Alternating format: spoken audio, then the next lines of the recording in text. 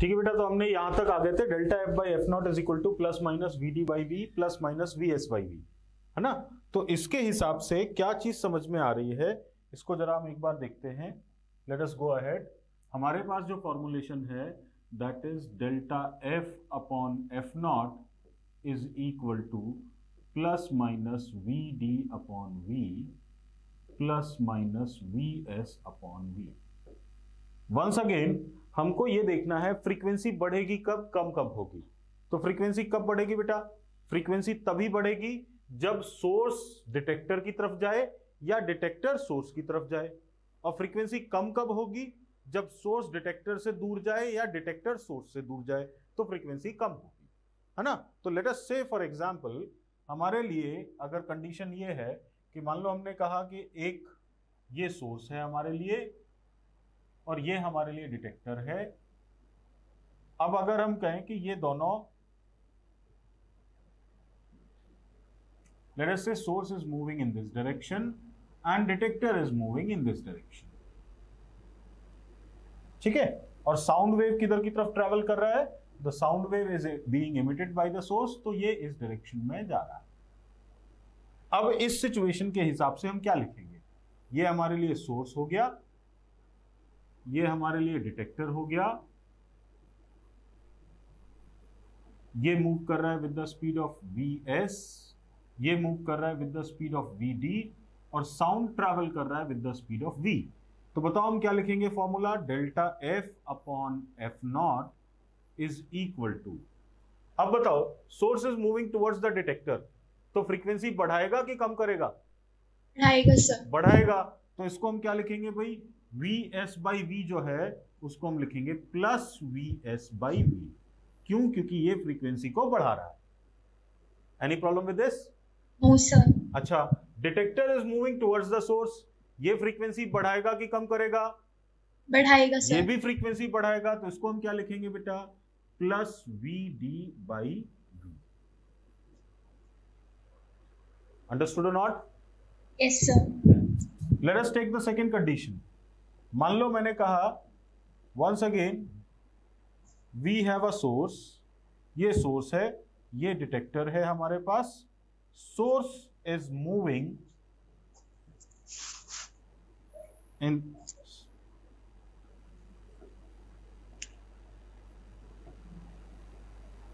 source is moving in this direction and detector is moving in this direction और sound कैसे travel कर रहा है? Sound is travelling obviously from source to the detector ये situation अब क्या होगा बताओ? इस सिचुएशन में अगर हम बात करें, ये सोर्स हो गया, ये डिटेक्टर हो गया, इसकी स्पीड वी हो गई, इसकी स्पीड वी हो गई, और साउंड मूव कर रहा है विद द स्पीड v. बताओ क्या लिखोगे? Delta f upon f naught is equal to क्या लिखोगे? बताओ. Plus v s by v plus v s by v और डिटेक्टर की वजह से क्या होगा? Minus v d upon v यही होगा कि नहीं होगा? Yes sir let us take the third case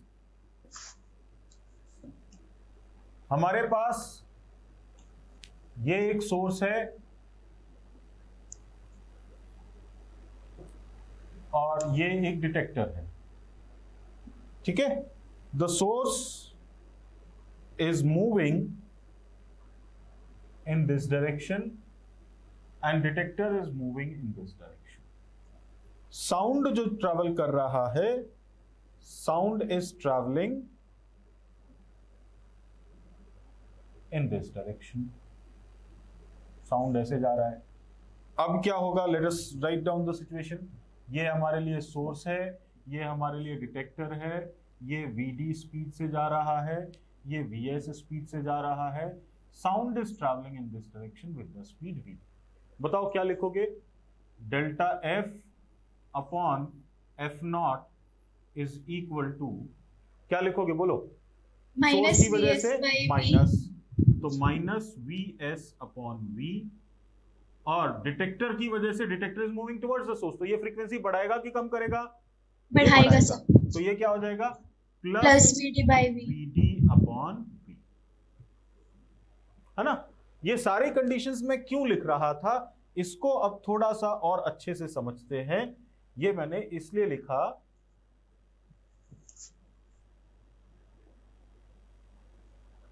क्योंकि इस पॉइंट को I can write it as इसी सिचुएशन को मैं कन्वर्ट करके ऐसे लिख सकता हूँ।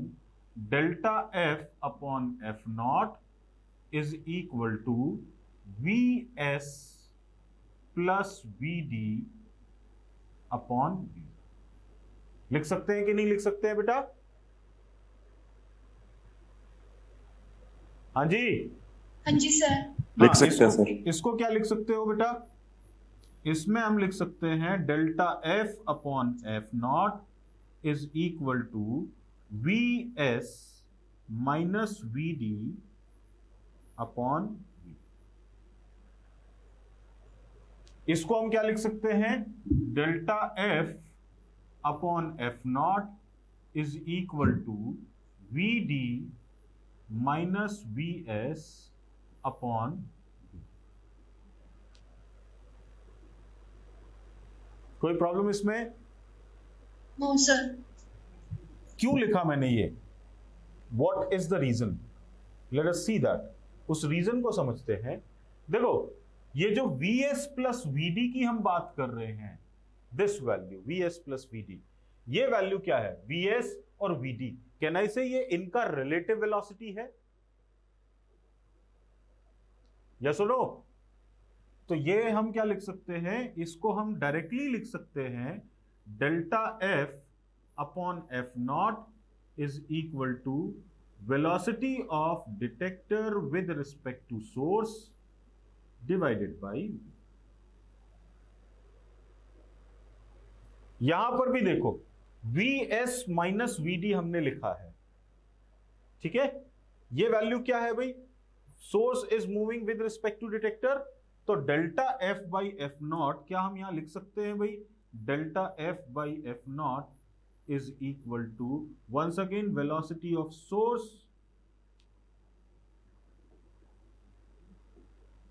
with respect to detector divided by v. और इस पॉइंट को भी थर्ड वाले पॉइंट को भी हम लिख सकते हैं delta F by F naught is equal to velocity of detector with respect to source divided by V ऐसा इसलिए लिखा है क्योंकि हम इन सारे पॉइंट्स को कंबाइन करके सीधा सीधा एक पॉइंट पे लिख सकते हैं। Delta F upon F naught is equal to plus minus V relative divided by V जो फ्रीक्वेंसी में चेंज है, वो किस पर डिपेंड करेगा? Relative velocity divided by V पर डिपेंड करेगा। और ये जो वी रिलेटिव है, ये क्या है? V relative is velocity of कौन सी velocity relative velocity of source and detector ये साउंड का रिलेटिव वेलोसिटी नहीं है। ये सोर्स का velocity with respect to detector है या डिटेक्टर का velocity with respect to source है? तो हम क्वेश्चन को ऐसे भी देख सकते हैं, किसी एक को रिलेटिव मान लो, किसी एक को रोक लो, उसका रिलेटिव वेलोसिटी देखो रिलेटिव वेलोसिटी टुवर्ड्स आ रहा है कि अवे जा रहा है। अगर टुवर्ड्स आ रहा है तो प्लस होगा और अगर अवे जा रहा है तो माइनस होगा। And then we can write down the basic formulas for relative velocity और relative frequency change is that understood और नॉट यस सर सर ये फ़र्स्ट पार्ट में जो हमने ऑरेंज से लिखे एक बार वो बताना मेरे को दिख नहीं रहा अच्छे से। अच्छा क्लियर नहीं हो रहा है। ओके okay, ये है delta F upon F naught is equal to V S plus V D divided by V मतलब इसी चीज़ को हमने वैसे लिख दिया। भाई अलग अलग लिखा था इनको साथ में लिख दिया। और ये जो चीज़ है V S plus V D क्या है बेटा? ये रिलेटिव स्पीड है। इन दोनों का रिलेटिव स्पीड है कि नहीं है V S plus V D तो उसको हमने वी रिलेटिव लिख दिया। ओके सर है ना? सब जगह यही लिखा है।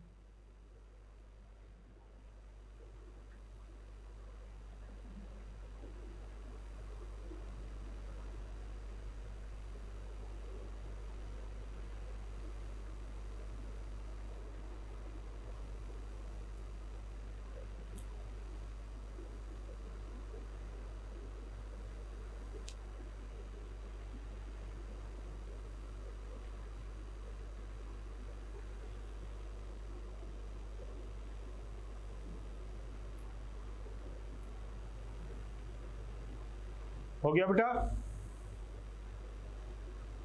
Yes sir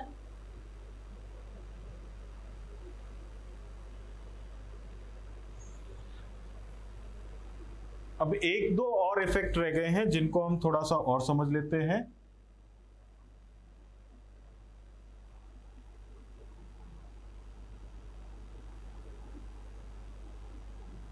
reflection of sound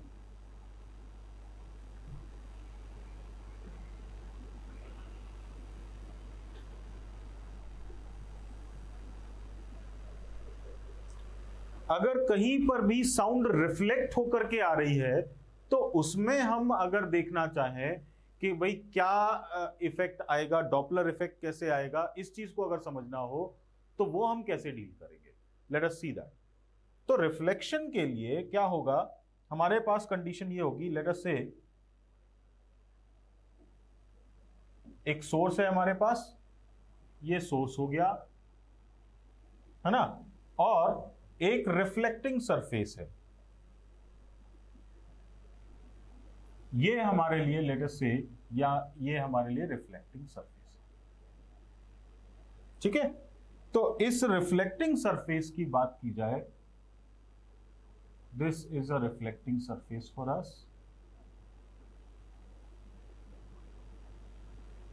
अब साउंड वेव जब इस सोर्स से चलेगा तो साउंड वेव कैसे ट्रेवल करेगा? The sound wave will start from the source and it will travel in this direction. ये ऐसे जाएगा। और ट्रेवल होने के बाद जब ये इस रिफ्लेक्टर से टकराएगा तो टकराने के बाद ये वापस भी आएगा। तो टकराने के बाद ये वापस आ रहा है। ठीक है? तो जो साउंड है, वो यहाँ से गया था। दिस इज़ द इंसिडेंट और इमिटेड साउंड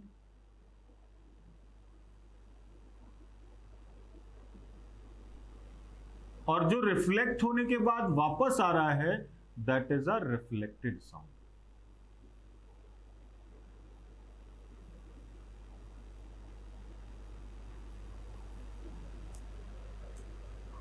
तो अगर हम रिफ्लेक्टेड साउंड को देखें तो रिफ्लेक्टेड साउंड के लिए ये जो रिफ्लेक्टर है दिस रिफ्लेक्टर ये रिफ्लेक्टर जो है this reflector acts as a plane mirror. Reflector acts as plane mirror.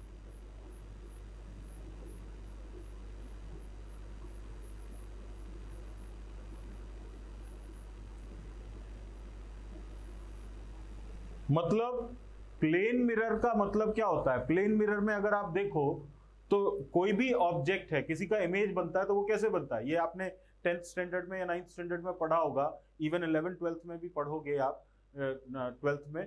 तो आपने क्या ऑब्ज़र्व किया होगा कि अगर मैं यहाँ पे खड़ा हूँ और मेरे को अपना रिफ्लेक्शन देखना है तो मिरर से जितना डिस्टेंस पे मैं हूँ मिरर से पीछे उतनी ही डिस्टेंस पर उसका इमेज बनता है।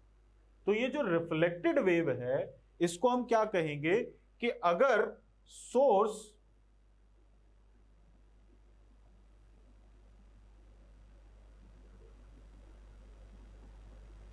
लेटस से ये जो सोर्स है, ये अगर इधर की तरफ़ ट्रैवल कर रहा है with the velocity V S तो हम क्या कहेंगे, ये जो रिफ्लेक्टेड वाला जो वेव है, ये बेसिकली इसकी एक इमेज हो जाएगी, जिसको हम वर्चुअल इमेज बोल सकते हैं।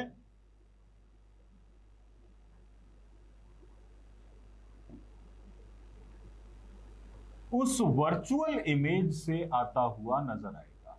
मतलब यहाँ पर हम ये कह सकते हैं this is image of source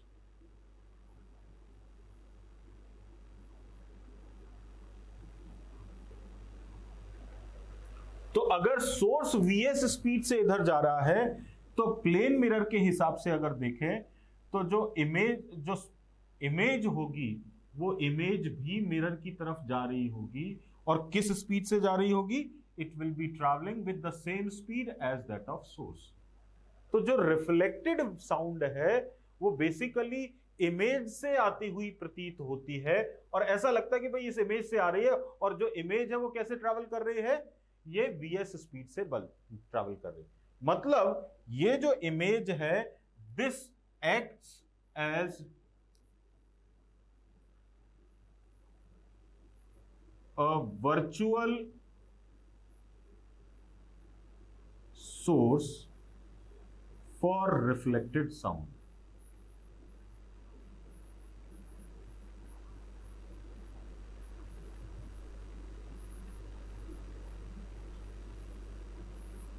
तो कहीं पर भी अगर हमको रिफ्लेक्टेड वेव का डॉपलर इफ़ेक्ट देखना हो तो हमेशा हम क्या कहेंगे, जो रिफ्लेक्टेड वेव आएगी, वो किससे आएगी?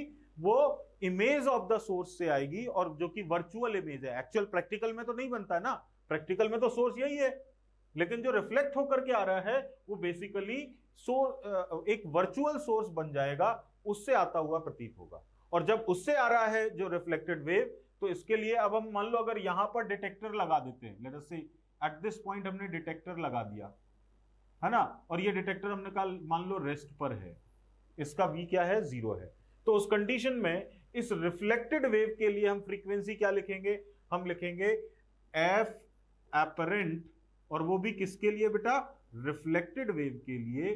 That will be equal to once again V V D divided by V और वी एस और ये जो वी एस होगा वो बेसिकली हमारे लिए ये वर्चुअल सोर्स होगा।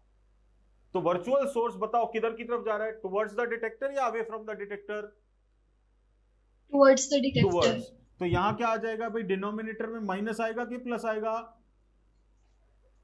टुवर्ड्स जा रहा है तो वो फ्रीक्वेंसी बढ़ाएगा ना? और फ्रीक्वेंसी yes, बढ़ाएगा तो डिनोमिनेटर क्या होगा? कम हो जाएगा।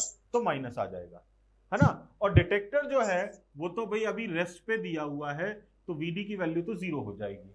तो इसको हम कह देंगे दिस वैल्यू इज़ ज़ीरो तो प्लस लगा दो चाहे माइनस लगा दो बात बराबर ही है।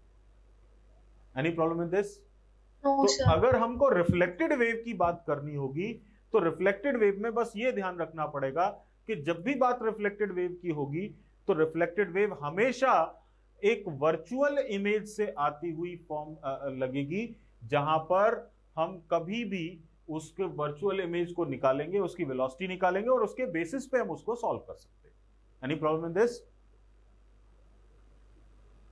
no sir so this is what we have to study about Doppler effect एक दो छोटे छोटे पॉइंट्स हैं जिनको हम डिस्कशन कर लेंगे अगली क्लास में विद द प्रॉब्लम्स इटसेल्फ तो नेक्स्ट क्लास जो होगी वो फाइनल क्लास ऑफ़ वेव होगा जिसमें हम सारी चीज़ों का डिस्कशन करेंगे। मतलब जितने भी प्रॉब्लम्स हैं डॉपलर इफ़ेक्ट से रिलेटेड फॉर्मूलेज हैं उन सबको डील करेंगे और उसके बाद आगे का क्लास कंटिन्यू करेंगे। तो नेक्स्ट उसके बाद आपकी जो क्लास होगी वो ग्रेविटेशन की होगी है ना?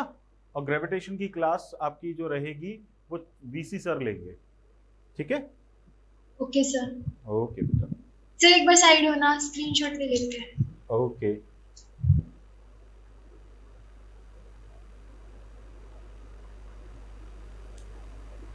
ठीक है बेटा?